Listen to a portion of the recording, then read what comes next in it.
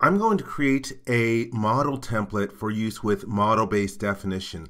And a critical aspect is using what's called a schema, which is an organization of combination states so that you don't get what people call the bowl of spaghetti look, where you have all your annotations visible on the default all state and you can't tell what anything is. And for a good reference, for devising a schema, you might want to download MIL Standard 31000, which contains information about setting up models for model-based definition. And the interesting thing about this MIL standard is that it is based on Creo Parametric. Let's minimize this. And right now I am in Creo Parametric 2.0. When you're creating your model templates, I recommend that you do it in the oldest version of Creo that you need to support. Last summer, I don't know what I was thinking. I was making some new model templates for myself, and I was accidentally in Creo Parametric 5.0, and so I can't use them for any of the work that I do in 3.0 or 4.0. So that's why I'm going all the way back to 2.0 for making my template. And you'll start off with one of PTC's templates. I'm going to choose new to create a part, and this is going to be for my company, and it's going to be a part. And I'm going to do this one in metric, and I'll put MBD in the name. And let's call this the start part. Put in the name here.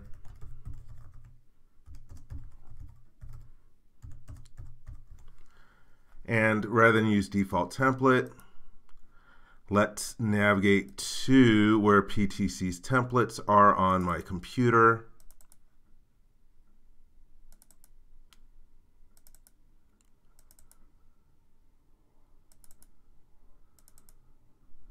There we go.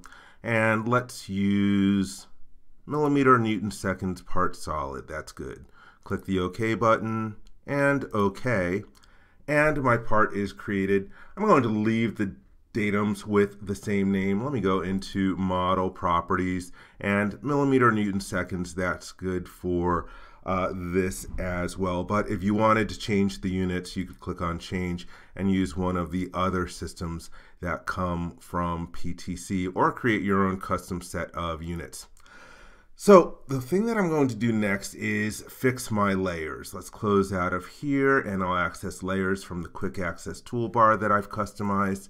And here are the layers that come from PTC. I'm just going to change three of these. I don't like the naming scheme that PTC uses. So first off, let's go to layer properties. And for this one, I'm going to throw the default coordinate system on it. And I'm going to change the name of this to default datums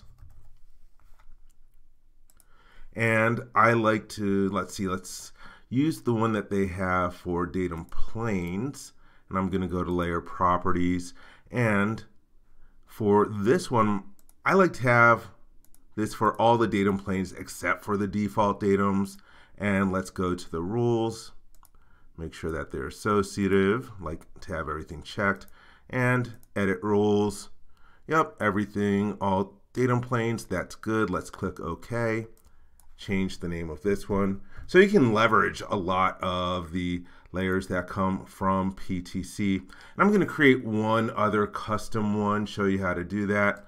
Let's right click over the layer tree and go to new layer. I like to have a layer for my data sharing features. And let's go to the rules tab, options, make sure everything is checked. Now I'm going to edit rules and I'm looking for features of type and for the options I'm going to let's see. Oh wait that's good. Query builder is enabled. All right so type is equal to data sharing and let's see we want to copy geom in there and external copy geom so I'm going to grab about six of these. I'm not going to do everything.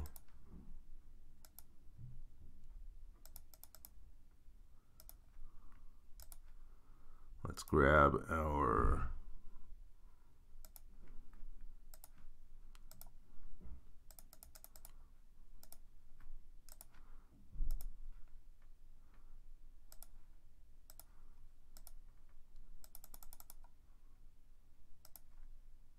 Okay, that's good. I'll go back later on and clean this up and make sure I have all the different data sharing type features in there. Okay, click OK, and I'm going to continue on with this. So I'm not going, in order to avoid boring you, I am going to put in a quick edit here and we'll come back when I have the layers set up the way that I want them to be. Okay, that's good. I have my layers set up. Nice simple scheme that I'm using. And the next thing that I will go to is setting up the different views for the combination state. So in the view manager, let's go to the orient tab and I'm just going to create a bunch of new ones and uh, I'm going to use the name of the combination state that they are going to be associated with.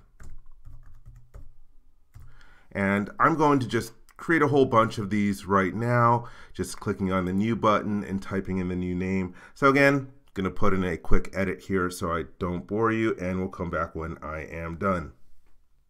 All right, so I've got my saved views created. You can see them here and they correspond to the names of the combination states that I am going to create now. So let's go to the All tab and New and again, let's type in the names we're going to use.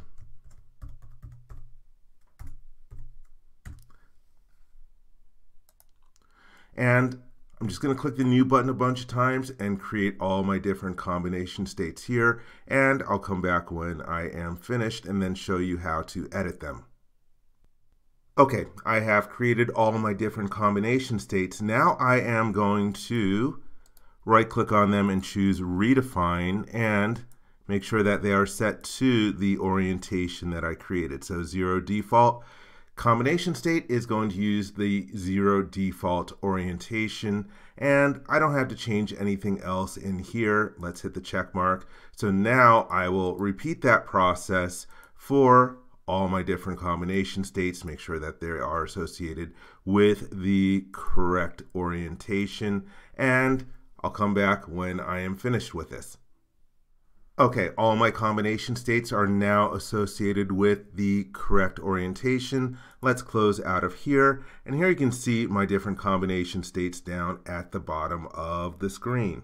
So let's go through these and do additional configuration. So here I am on zero default. Let's click on the annotate tab and we can see that we hover over here, these are the different annotation planes, but on zero default, we are going to put our legal notices. So that's going to be a flat to screen note and click on the notes button over here and let us create a new note.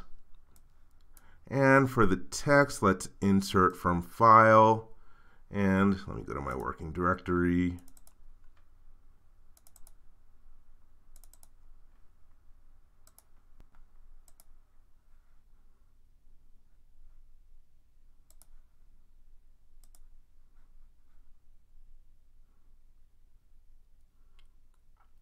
Okay, forgot to hit the place button, so there we have our note on the screen, flat to screen, and it is on the zero default state.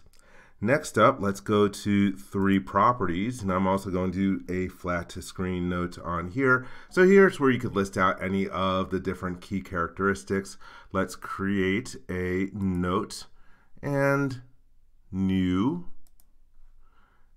and let's have this one B for the weight, and ampersand pro MP mass. And hit the place button, and let's locate up over here.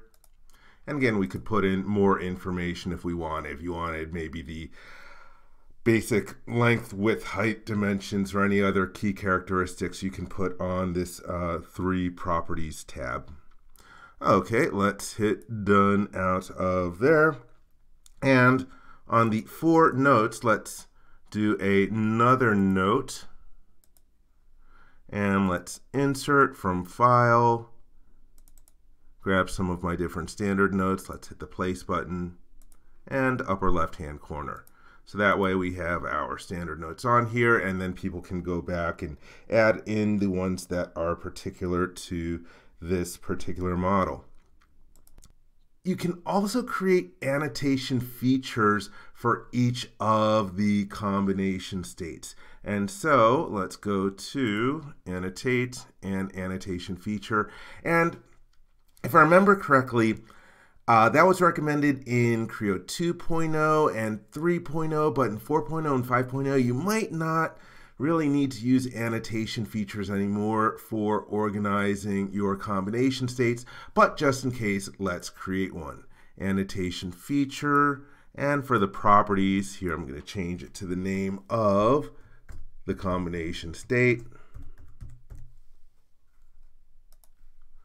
And click OK, and then right click on it and move to footer. That way they are at the bottom of the tree. And I'm just going to repeat that process for each one of my combination states, and then we'll come back. All right, now we are on the two titles combination state. And again, we are flat to screen, and I'm going to place a symbol to represent my title block. So let's go to symbol and then custom symbol. And here's our title block that I have. Let's crank up the scale here to about 60. And I'm just going to drop it in the lower right hand corner. That's good. Let's click OK. And so that way I have my little symbol on there for my title block. I hope you enjoyed this video. For more information, please visit www.creowindchill.com. If you learned something from this video, please give it a thumbs up. And if you like this video, please click the subscribe button to be informed when new videos are uploaded. Thank you very much.